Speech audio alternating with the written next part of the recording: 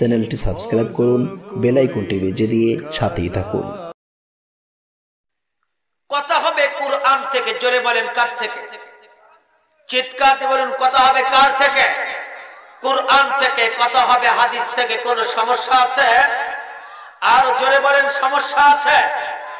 যদি গুটি কয়েক লোকের সমস্যা থাকে, তাহলে অধিকাংশ পাবলিক শ্রোতা আর বক্তার কোনো যায় আসে? জোরে বলেন। আর জোরে বলেন, কোন সমস্যা নাই তো? হক কথা চলবে কথা চলবে, বিতর্কিত কোনো আলোচনা হবে না, রাজনৈতিক কোনো বক্তব্য হবে না, বক্তব্য বুঝতে হবে কোরআন থেকে জোরে কন, ঠিক না বিঠি?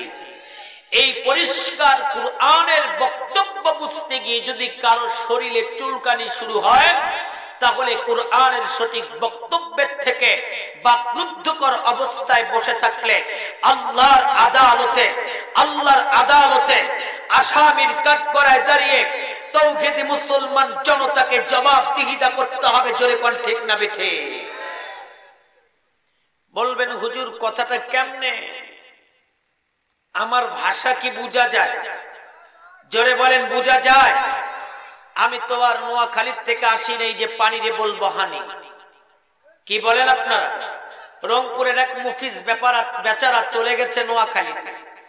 যাওয়ার পরে এক কাঁচামালের দোকানদারকে জিজ্ঞাসা করছে, ভাই, আপনার দোকানে কি হেহে আছে হেহে দোকানদার বেচারা তো একদম আশ্চর্য হয়ে গেছে। এটা আবার কোন পণ্য? এর নাম তো আমি জীবনেও শুনি নাই।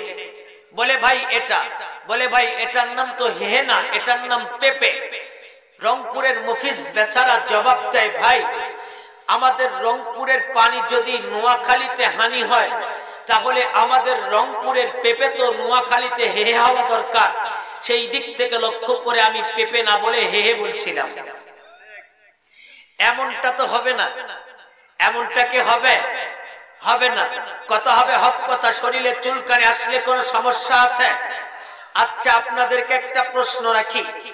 এই যে শীতকাল চলে আসছে, মনে করেন যে ময়মনসিং থেকে আসা গফরগাঁওয়ের হাত বরাবর কালো কালো বেগুন, সামুদ্রিক কোনো মাছ দিয়ে যদি রান্না করা হয়, এতে যদি ধনিয়া পাতা জোড়া দেওয়া হয়, বলুন তো দেখি মাছের তরকারি স্বাদ বেশি হবে না কম?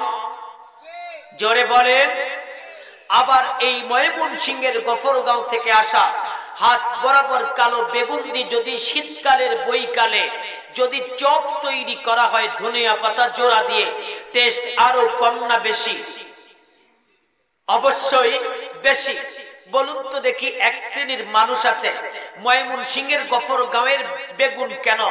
যদি আমেরিকার থেকে এমফোর্ডের সাহায্যেও বেগুন নিয়ে আসেন, সামুদ্রিক মাছে মেশানো তো দূরের কথা, চপ তৈরি করা তো দূরের কথা বেগুন দেখিলেই শরীরে চুলকানি শুরু হয়। বলুন তো দেখি রোগটা কি?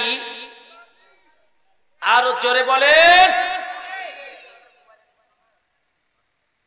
ঠিক সমাজের ভিতরে কিন্তু ইসলাম এবং ইমান বিধ্বংসী মানুষ বসবাস করে।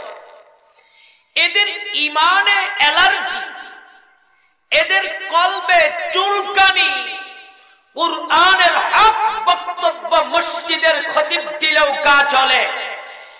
ঈদগাহের খতিব দিলেও কা চলে। মুফাসসির তাফসীর করলেও কা চলে।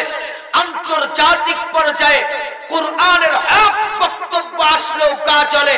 চলে চলে কোন ঠিক না ঠিক তাই বলে কি আপাতমস্ত জনতা বেগুন খাওয়া ছেড়ে দিবে? দুই চারটা অ্যালার্জির রোগীর কারণে।